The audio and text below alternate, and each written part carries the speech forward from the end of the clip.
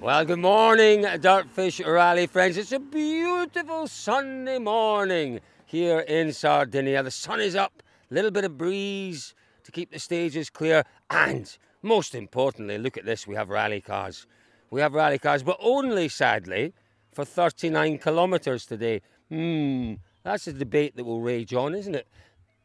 12 points, 39 kilometres. Oh, I'm not sure. But listen, let's enjoy it. Let's enjoy that battle. It's like a sprint format, isn't it? You know, rally sprint with rallying, with rally cross. Let's combine it all. Let's go the whole hog and go all the way around. Uh, Thierry, oh, sorry, Thierry. Let's go around here. I want to chat with Aaron Johnston. We'll talk to these boys in a minute. Let's talk to Aaron. Aaron, I was thinking about you. Thinking about you driving in this morning. And I was thinking, if you. As long as you weren't thinking about me last night. not last night, darling. No, no, this morning as we were driving in. I was thinking, if you were born and if you'd been brought up in America, you wouldn't be called Aaron, would you? No, Aaron. No, but you wouldn't be called that either. Right, entertain me. They would call you AJ. Uh, yeah, well, back in the day at school, I would have been sort of called AJ as well by some people. I, I am the master of nicknames and calling people different names. Am I allowed to call you AJ from now on? Yeah, you can. I've definitely been called worse, so I think uh, I think there's definitely worse things you could call me by. Yeah, fantastic. I'm calling you AJ from now on. Aaron, AJ. Uh, this morning, this morning's two stages, not quite the same as last year, but we go back to what 22, and they were the same stages. Yeah, the stages are identical, like they were in 22 when we were back on the Alghero side. Last year we were in Olbia, and these two stages are quite soft, but I think uh, they're also quite enjoyable. Good, good. It's a strange morning, though, isn't it? 39 kilometres. You had such a long day yesterday, such an intensive day yesterday, such a demanding day, and then you come out for 39 kilometres on the final day. I, is that do you have to change your approach, change maybe your head in terms of your, your mental approach to it because of that? Yeah, yesterday was a little bit about uh, car preservation as well, whereas today is just as hard as she'll go for as long as she'll go, and we'll see what happens. How disappointing was that yesterday? Because you, you know, I'm a big one for remote services. I really do yeah. think we've got to bring them back. It's nonsense that you know that you were out the rally when had we had a remote service, that problem would have been identified. No one would have known about it. Um, you, at what point did you realise you had the issue in, in the tyre zone?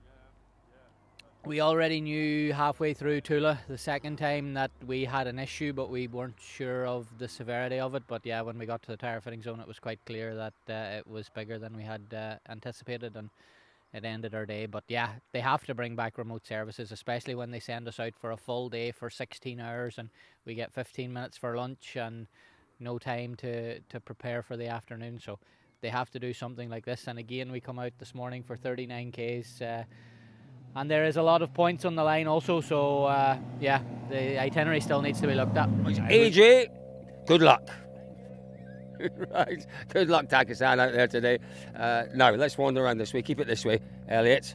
Let's go and have a little look. Uh, a little bit tight, this little road this morning. Morning, Big Gordy. Shoes, shoes. We've got to do a shoe check with Gordy this morning. Big Gordy has two of the same shoes on. Good job, Gordy. It's not so early, is it? Not so early this morning, so he's got the right shoes on. Um, anyone who saw our Sunday in Portugal will remember that Gordy came out with one shoe from one set and the other shoe from the other. Uh, very odd indeed. Um, we'll have a quick word with Thierry. Thierry, we were so disappointed for you yesterday because you were driving so brilliantly. Um, just tell us about that moment because you seemed to realise very early that you'd got it wrong. Yeah, mm, I just made out of concentration and basically I brake when I realized that was a tight corner. I, I, I don't know, I was just focusing on the previous corner where from the morning I I remember I could go a bit faster, but I just forgot what was behind. Basically, just missed out of instant of concentration. So stupid. Do you know what? I don't ever think I remember you talking about missing your concentration before. I mean, it has to happen sometimes, but you are very capable of focusing and concentrating. That's really unusual for you. Yeah, but uh, it happened. Um, it happened here and there, but obviously there was no room for any margin. We just went slightly wide and stuck, uh, stuck basically on the on, on the loose, and uh, the car was beached, so nothing we could do. But yeah, I mean, for sure it doesn't happen so often, but it can happen. And obviously when you when you sleep for four and a half hours a night and wake up uh, 4:25 to drive uh, the 120k road section, and yeah, I don't know. Um, just yeah, missing the focus. It all contributes. Uh, very, very quickly, because I know you're going, what can you do to take those points today? First on the road, loose surface. What can you do? Just go flat out and and, and see. This could be entertaining. Stand back if you're in the stages. Thierry Neuville's coming through. Check the tyres. They're all on soft tyres, apart from Dani Sordo, who's got one hard. Not quite sure whether that's maybe a tactical gamble. It's maybe a little bit of Hyundai covering all their bases. It might just be that he, he just doesn't have the allocation of softs left. I don't know. But Dani's gone with one hard compound tyre today. Uh, yeah, there we are. Let's just have a look. The bonnet pins, remember, on like Tanak's car, this front left bonnet pin. I know I'm looking to the right, but that's the front left bonnet pin. Uh, popped up, didn't work. You had to tape that down. All is good. So let's go down and have a word with Adrien Fourmaux. Uh, good luck to Thierry Neuville and to Martin, to my new Bezzy mate, AJ. Gee, what do they call you at school, Elliot? Or smell. And they used to call me Sparky. All Clarkies in Scotland, Clarky Sparky. So, and, and same with my older brother and my younger brother. We were a family of Sparkies. My best mate was called Doobie. I've got no idea why. And there was Doobie, the big Doobie and little Doobie. right. Oh, look, it's uh, Gregoire Munster. I thought it was Adrien. It's Gregoire. Has the stage started? No. Oh, he's just walking. It's the recce video he's looking through there. Speed it up. Look at that. So that's his recce video. That's an onboard from It's an onboard from a previous year. Of course it is, Elliot. Hyundai as well. It's a Hyundai as well. Uh, I got that completely wrong. It's too early for me. I can't see these things. Ah, yeah, and I wonder who that is then. That's maybe Neuville, you'd have thought, isn't it? Just watching from previous years. What did Aaron say to us? 2022. So it'll be 2022 they're looking at. You know, these two stages, it's okay, the, the, the final stage, the Argentiera stage, the power stage, uh, only the last six or seven years we've been using that as a power stage. But we've been in this area on the final day for a number of years. Hayden Paddon, remember, a few years ago got it disastrously wrong, ended up on top of a wall, through a wall, partly on top of it. Uh, there have been issues. They're, they're, relatively, as we know, very short stages, uh, relatively well known. Nothing too dramatic in those stages, but as with any stage on a rally, you can be caught out. Louis, a very good morning to you. How are you this morning? Uh, very good. Can't wait for starting this uh, this uh, last day of uh, Rally Sardinia. Do you know what I find incredible? We were in town this morning. It was busy. We came out of town. It was busy with rally fans. We're here. It's just me making lots of noise. The birds singing. The bells of the sheep in the background. You're on million euro rally cars. It's odd, isn't it? Uh, it's uh, kind of uh, quiet before the storm. It is exactly that. You have got it exactly spot on. Uh, let's leave Gregoire to it. He is concentrating, just double checking. Do you know what? There are some drivers that can almost, with certain stages, they can almost repeat the corners from memory to you. And I tell you, he's very good at that. Gus Greensmith. Gus Greensmith's almost got a photographic memory. Uh, but some of them just need that. Uh, no, no, not at all, my friend. Not at all, my friend. No, Gus is just a little bit exceptional in many ways. Uh, folks, we'll wait for some other cars to turn up. We are just a kilometre or two away from the start. That is Thierry Neuville. He is first on the road this morning, making his way into what is an enormously important day.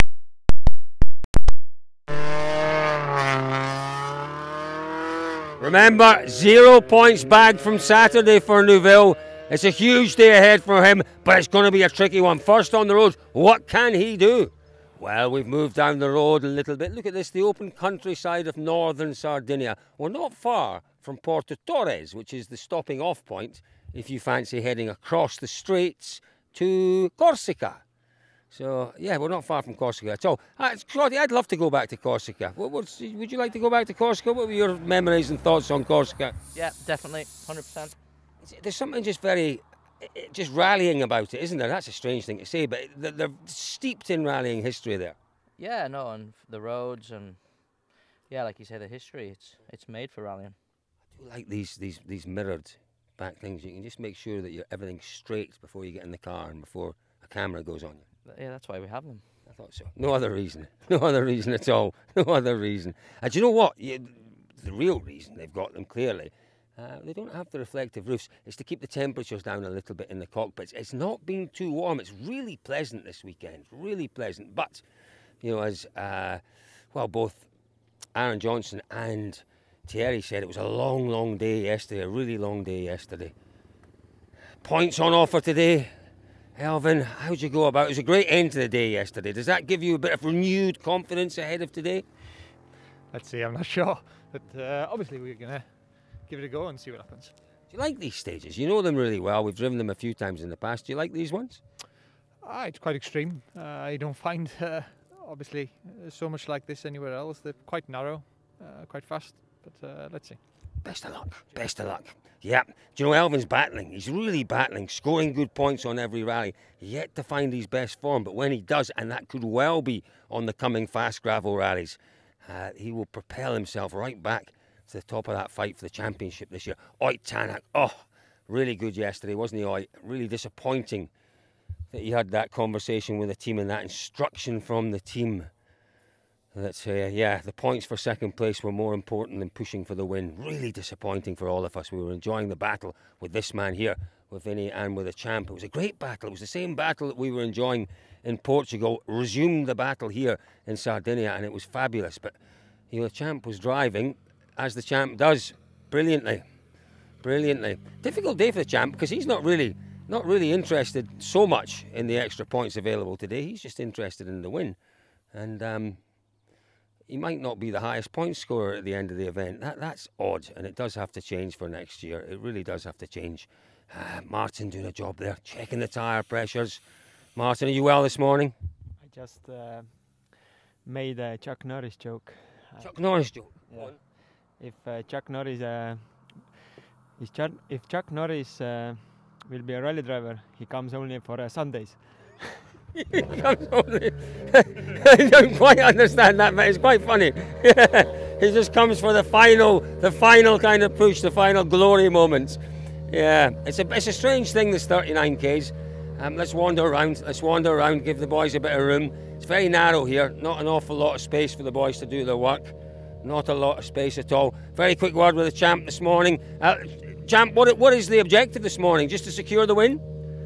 Well, that's the main objective, that's for sure. Um, but you know, 17 seconds is not a huge gap where you can completely relax, and uh, especially with this power stage, which is very tricky always and rough. So it's better to try to keep some margin for any anything. So no, you have to.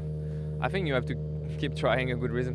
Yeah, that power stage has had mixed results for you in the past. You were beaten by Thierry that incredible year. I seem to remember one year, though, you had a blinding drive through that stage. Is that right, where you beat everyone by four or five seconds? I won it once at the power stage by doing reverse on the hairpin. so that, that time it was working quite well, but uh, the recent years it was often more close, and we have to say the Hyundai have been always strong in there it wasn't. It wasn't just that he won it. He won it by about, I think it was five seconds in an eight or nine kilometre stage. It was astonishing. It was astonishing. That was in the Volkswagen days. But remember back that incredible battle where there were four and a bit seconds between Neuville and Ogier going into the final day, and Neuville reeled him in. He reeled him in, and then beat him in the final power stage. It was quite incredible uh, and great to watch. Now. Yohan Rossel, what a day he had yesterday. Tremendous day for you yesterday, Yohan. Uh, what can you do today, though? I suppose today is just about consolidating that second place. Ah, I think uh, now we need we, we need to finish the job. Uh, for sure, it's not easy stages, uh, very narrow. Uh, keep the, the ace open, and uh, yeah, but the failure into the car was good yesterday, and I think it's the same today. Maybe your best day in a rally car yesterday? Ah, I think it's Maybe yes. Maybe yes. It's a very good uh, good day for me for for the team. Yeah, but uh, now the uh, yesterday you have you have no point. Yeah. Today, yes. yeah, fantastic stuff. You were great yesterday. Well done. I just spotting down there. Have a look. That's that's Sébastien Ogier and Ott Tanak. This is the magnificent thing about rallying in Portugal. Battling tooth and nail here for the first day and a half. Battling tooth and nail. But you won't get it in any other motorsport. The two of them just watching, I suspect, Thierry Neuville coming through the early part of this power stage. I, I, you tell me, you tell me where else we see this. You tell me what other sports you would see the two biggest rivals watching together. I, I, I don't think there's another motorsport like it. I really don't. It is great to see. You can talk about rivalries all you like, but there is enormous mutual respect, enormous mutual respect amongst drivers and co-drivers out here. And, you know, there's genuine friendship, genuine friendship and camaraderie. Um, I think that looks great. That's a great shot. That's a great shot. It really is. Let's leave them to it. Let's leave them to it. They're watching, I suspect, as I say, Thierry Neuville on the All Live. You know, a lot of people debate is that fair? Should they be allowed to have telephones in the car? What they have banned have they banned the FIA? I'm not sure it's come into rallying yet. Certainly in cross country rallying. They've banned watches in cross country rallying because you can take information into the stages um, and you can communicate through watches these days. I thought they'd banned it in rallying, or the plan was to ban watches as well, those smart watches. But like the one that our friend Elliot, the cameraman's just bought himself and he's dead proud of. Show them your watch, Elliot. Show them your watch. There it is. Dead proud of it. Dead proud of it. He really is. It's got everything on it. What's it got on it? The stage time's on it. You're dead clever. You really are. Uh, yeah, but you know there is a lot of debates, a lot of debate about do these guys get an advantage because they can see what's going on. Well, that's all part of the game. Jan Solans, what what a weekend he's had. I don't remember back just well, it was uh, 36 hours or so now. Friday evening, stage four, the final corner, he smacked that rear left of the car and destroyed, well, almost destroyed, the rear suspension. Worked really hard where we were at the stop line. Uh, put it all back together again. Looked like it hadn't done the job, but it did. It held out. Uh, Jan, that, that real hard work you put in at the end of four is paying rewards. You're, you're, you're still in the event and up for scoring good points. Yeah, that's for sure. You never need to give up. We just need to keep pushing, stay focused, and also it's a rally that staying on the road it's very very difficult. So at the end, it looks like we're here, and there are still four stages to go. You know, I need, I really do need to learn a bit more about the suspension parts. Which part was it that broke? What was the, what was the actual component that broke? It was an arm, but the problem was that it wasn't the arm that was broken because we here we have another arm and we can change it. It was the bolts that are fixing the arm that went absolutely off. The bolts were uh, snapped. Yeah, were snapped. So it was impossible to repair, and uh, well, we need to go like that. How many cable ties did you use? Uh, difficult to say. We did 60 kilometers like this, and it was crazy. Yeah, if you want to have a look at what we were talking about there, that incident at the end of stage four, go back through our Facebook feed. There's a little video there that shows the boys working on the car and the repair that they did. So there we are, folks, 39 kilometres ahead of us. The stage is well underway. Uh, you know, okay, just 39 Ks, but lots still to play for out there. As Sébastien Ogier said, you know, 17 seconds can disappear like that in the stages. It's going to be fascinating to see who needs these bonus points more than anyone. I suspect it'll be Thierry Neuville. So, stick with us, folks. Tanak's firing up and heading off. We're firing up and heading off. We'll see you at the end of the rally.